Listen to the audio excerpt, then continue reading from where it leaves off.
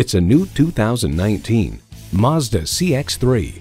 This capable compact crossover elevates your view so you can navigate highways and byways with confidence. And get ready for an impressive combination of features.